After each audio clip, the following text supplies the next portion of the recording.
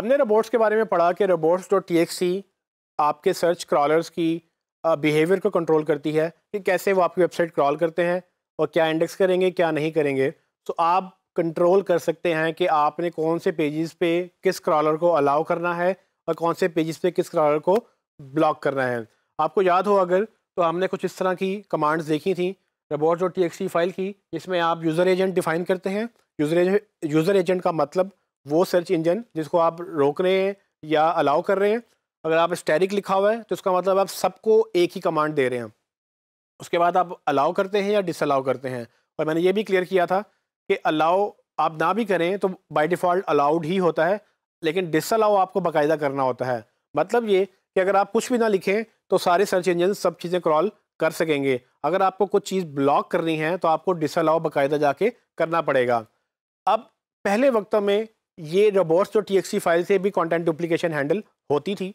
और ये मैंने इसलिए टॉपिक डाला कि आपको कहीं ना कहीं शायद आपको आ, ये रेफरेंस मिले कि आप डुप्लीकेशन रोबोट डॉट टी से कंट्रोल कर सकते हैं। तो आप रोबोट डॉट टी से सर्च इंजन का बिहेवियर कंट्रोल करते हैं कि वो क्या क्रॉल करेगा क्या नहीं करेगा। तो अगर मुझे सर्च इंजन में ब्लॉक करना है कि भाई आप मेरी वेबसाइट पूरी अलाउ कर दी मैंने कि आप पूरी वेबसाइट मेरी क्रॉल कर सकते हैं लेकिन डिसअलाउ कर दिया कि जिस जिस पेज के ऊपर या जिस जिस यू पे क्वेश्चन मार्क सर्विस इजिकल टू सीओडी ये लिखा हुआ आ रहा है तो ये पेजेस आपने क्रॉल नहीं करने इससे क्या होगा कि जब भी गूगल मेरे वो स्मार्टफ़ोन वाला पेज क्रॉल करेगा, उसमें अगर वो सर्विस सीओडी फ़िल्टर वाला यूआरएल उसको मिलेगा तो वो उसको क्रॉल नहीं करेगा।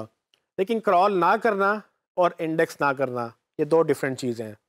क्रॉल नहीं करेगा, उसको यहाँ से रिपोर्ट से वो क्रॉल छोड़ देगा। लेकिन अगर ये URL किसी ने फ़िल्टर वाला यूआरएल किसी ने कहीं किसी और वेबसाइट में कॉपी कर दिया तो गूगल आपकी वेबसाइट से तो क्रॉल नहीं करेगा। लेकिन वो डायरेक्टली उस दूसरी वेबसाइट से उस पेज पे अगर आ गया तो वो इंडेक्स उसको फिर भी कर लेगा और हमारा मकसद गूगल में वो डुप्लीकेसी ही रोकना है कि हमारे हर पेज की सिर्फ़ एक ही कॉपी गूगल के अंदर अवेलेबल हो एक से ज़्यादा अवेलेबल ना हो। सो लिहाजा रोबोट्स डॉट टी फ़ाइल एक आ, अच्छा मीडियम नहीं है कि आप उससे डुप्लीकेसी रोकें क्योंकि रोबोट्स और टी से सिर्फ़ आप बिहेवियर कंट्रोल करते हैं इंडेक्सिंग कंट्रोल नहीं कर सकते हैं?